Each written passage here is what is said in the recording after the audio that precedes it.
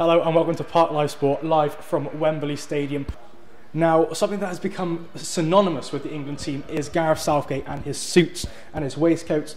We now know and we can tell the public where he actually buys his suits. Some people have been saying they cost what, thousands of pounds, but we can officially tell you they are actually from M&S. Yes, M&S luxury, but M&S, where I bought my Percy Pig, where everyone buys their shopping up from London to uh, Barnsley as you can see, the kit's here. Maybe not as nice as that suit, but if you want to look like Gareth Southgate in tw- uh, Qatar 2022, you know where to go. Bobby Moore lifted a World Cup for this country on July the 30th, 1966. Back then there was only 39 steps. And if those uh, steps were here now and the actual royal box, it would be between doors 144 and 101. And that is where the old royal box would have been. Now, for some unknown reason, there is 107 steps. So whether your team wins or loses, you have to go the famous steps to collect their trophies and medals alike.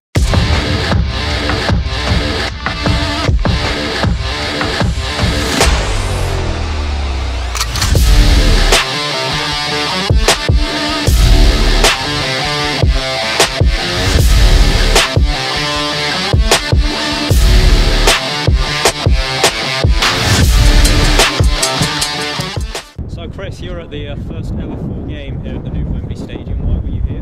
Yeah, it was 15 years ago. I was working for Tyne Tees Television. They're based in the northeast, and we had a few players that were involved in a England under 21 squad who were facing Italy under 21s here at Wembley. Uh, Stewart Downing, Steven Taylor, and Lee Cattermole were all in the squad. So I came down as a northeast reporter to try and uh, get some interviews with those guys and obviously cover the occasion of them playing at the first ever game at Wembley.